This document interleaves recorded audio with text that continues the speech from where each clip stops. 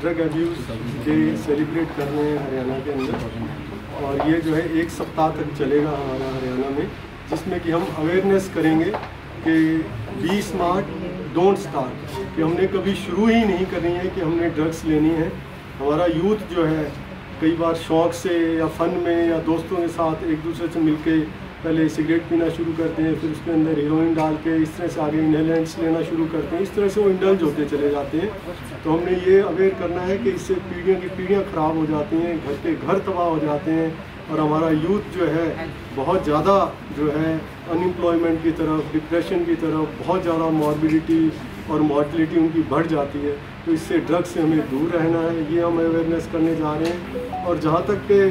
सवाल है कि ड्रग की सप्लाई वाली बात है, वो हमने कम करनी है डिमांड कम करनी है। यदि कोई लेने लग जाता है तो उसका हमने जो है नशे को छुड़वाना है। उसके लिए हमने पूरे हरियाणा में भी नौ ओ सेंटर्स बनाए हैं ओपीएम सब्सिट्यूट थेरेपी सेंटर्स जिसमें कि आपको जान के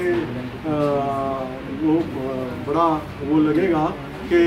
जो हीरोइन लेते हैं, जो इंट्राविनस ड्रग्स लेते हैं हीरोइन जैसे लेते हैं या हीरोइन वैसे इनहेलेशन के तौर पे लेते हैं या ओरली लेते हैं। तो उनको छुड़वाने के लिए सिंपल बहुत ही सिंपल है कि nine O S T centres हमारे ओपियम सब्सिट्यूट थेरेपी सेंटर्स हैं जहाँ पे कि अपने हाथ से हमारे जो वहाँ पे काउंसलर्स हैं जो वर्कर्स हैं वो बुप्री नॉर्फन की टेबलेट उसको देते हैं जो कि उसका सब्सिट्यूट होती है। तो पेशेंट को हीरोइन जो है धीरे धीरे छूटती चली जाती है। इसके अलावा हमने तेरह हमारे डिस्ट्रिक्स ऐसे हैं जहाँ पर कि हमने ड्रग डी एडिक्शन सेंटर्स बनाए हुए हैं जहाँ पे किसी भी तरह का नशा जो होता हमारा है जैसे चरस गांजा फीम अल्कोहल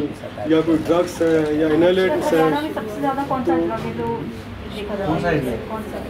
एरिया हमारा नेबरिंग जो पंजाब का एरिया है जैसे सरसा हिसार फतेहाबाद और उधर ये दिल्ली के आसपास का एरिया ये हमारे एरिया रिवाड़ी वगैरह ये अफेक्टेड है हमारे। जो है हरियाणा के अंदर पर्टिकुलरली और इधर जैसे हिमाचल के ड्रग्स मेनली इनके अंदर हमारे का यदि हम अल्कोहल का देखें तो अल्कोहल कंजप्शन तो ओवरऑल इंडिया में है ही लेकिन इसको छोड़ के भी जो ड्रग्स में देखें तो हीरोइन की कंजप्शन जो है काफ़ी ज़्यादा है ऑल ओवर इंडिया में भी है और हरियाणा भी उससे छूटा नहीं है कि हीरोइन काफ़ी कंजम्पशन होती है। इंट्रावेनस के तौर पर भी ओरल के तौर पर भी जो कि ओपियम का ही एक सब्सिट्यूट है। Thank you so much thank you